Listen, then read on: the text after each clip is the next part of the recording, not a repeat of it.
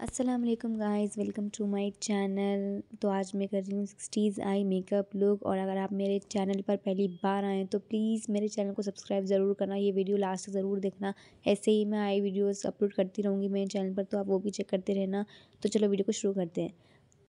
तो सबसे पहले मैंने स्विस ब्यूटी का कंसीलर लिया है और उसको मैं अपने आई पर अप्लाई करूँगी और एक डैम्प ब्यूटी ब्लेंडर से इसको अच्छे से ब्लेंड करूँगी।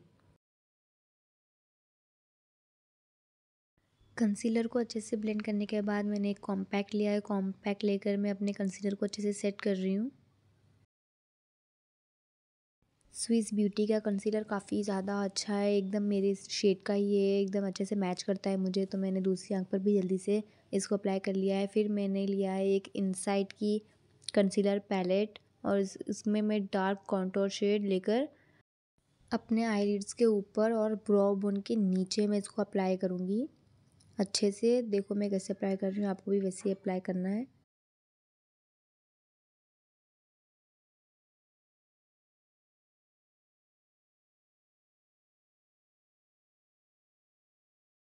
इसके बाद मैं ले रही हूँ एक ब्राउन आई और इसको मैं इसके ऊपर ही अप्लाई करूँगी क्योंकि वो क्रीम था और ये आई पाउडर है तो अच्छे से सेट हो जाएगा। ट्रांसफ़र नहीं होगा इसके बाद मैं ले रही हूँ स्मॉल ब्लेंडिंग ब्रश और उसको ही मैं अच्छे से ब्लेंड करूँगी ताकि कोई भी हार्श लाइन ना रहे। इसके बाद मैंने वही स्विस ब्यूटी का कंसीलर लिया है और उसको मैं अपने आईलिड्स पर अप्लाई करूँगी। कट क्रीज को ड्रॉ कर लूँगी। पूरी आपको फुल कट क्रीज ड्रॉ करनी है। फिर मैंने एक ब्रश लिया है, उससे अच्छे से मैं कट क्रीज को क्लीन लुक आने के लिए अच्छे से कट क्रीज को ड्रॉ कर रही हूँ।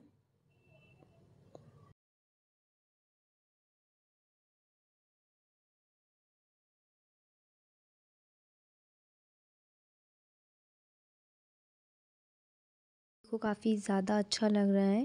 कट क्रीज को ड्रॉ करने के बाद मैंने एक ब्यूटी ब्लेंडर से लेके इसको ब्लेंड कर रही हूँ और कॉम्पैक्ट लेकर इसको सेट कर लूँगी ताकि कंसीलर अच्छे से सेट हो जाए और कंसीलर अपनी जगह से हटेगा भी नहीं क्रीज भी नहीं आएगी।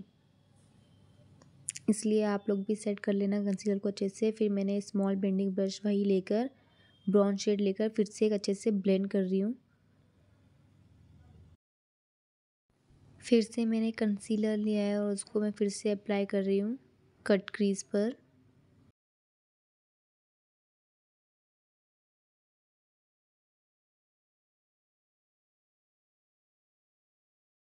फिर एक बिग फ्लफ़ी ब्रश लेकर कॉम्पैक्ट लेकर फिर से इसको अच्छे से सेट कर लूँगी।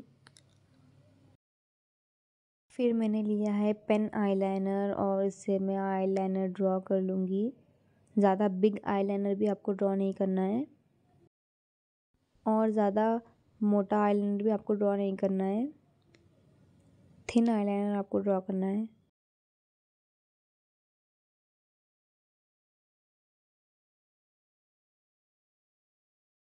इनर कॉर्नर के पास भी मैं आईलाइनर लगा रही हूँ। छोटा सा आपको इनर कॉर्नर के पास भी आईलाइनर लगाना है। और मैं आईलाइनर के नीचे एक और लाइन डाल रही हूँ आईलाइनर से ही। कुछ इस तरीके से आईलाइनर लग रहा है। फिर मैंने आई शेडो पैलेट में से एक लाइट शेड लिया है, उसको मैं इनर कॉर्नर के पास और आईलाइनर के बीच में मैं अप्लाई करूँगी और ब्रोबोन के नीचे भी मैं अप्लाई करूँगी। फिर मैंने लिया है मस्कारा, मार्स का मस्कारा। काफ़ी ज़्यादा अच्छा है। लोअर लैशेस पर भी मैं इसको अप्लाई करूँगी।